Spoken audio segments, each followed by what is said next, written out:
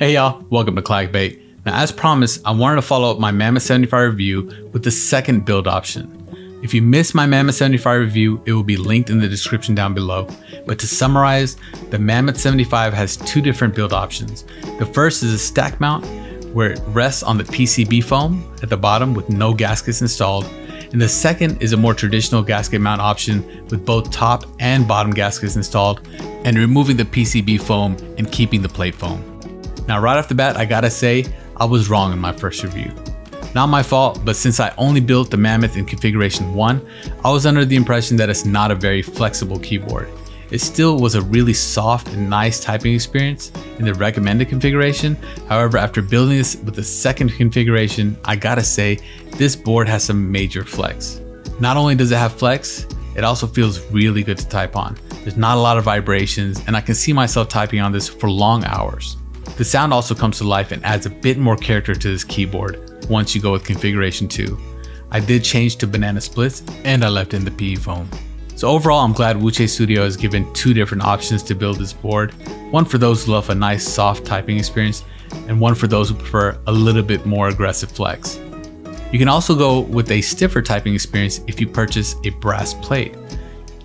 Now overall, I already was in love with this keyboard in the first configuration. However, after changing out to option 2, I can say that this is probably my favorite 75% keyboard that I own, both from a design and typing experience aspect. Now those two things are highly subjective, but I wanted to share my thoughts with you regardless. So let me show you real quick how to do this and we'll do a quick typing test and a flex test in configuration 2. But before we start, if you're enjoying my content, please consider subscribing to my channel. I also have affiliate links for this group buy for both USA and international down below. Using those will help my little channel out, so I'd really appreciate it. All right, let's get to it.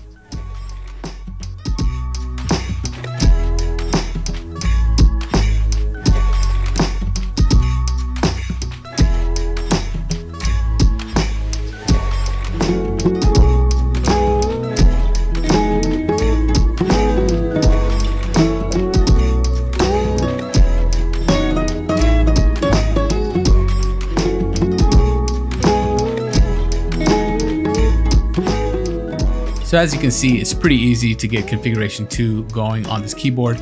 Now this is configuration 1 flex. So as you can see, it does have a good moderate amount of flex to it. In fact, I think a lot of people are gonna love configuration 1 the way it is, and they're not even gonna want to mess with configuration 2. But I like a little bit more flex, so I went for it. Now here's what flex is like on configuration 2 and a sound test.